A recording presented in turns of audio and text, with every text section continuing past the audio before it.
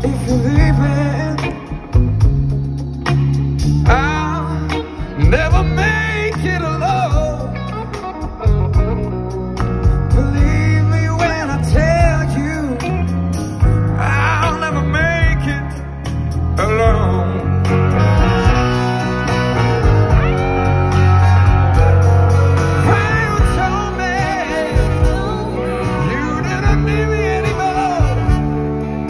me no, I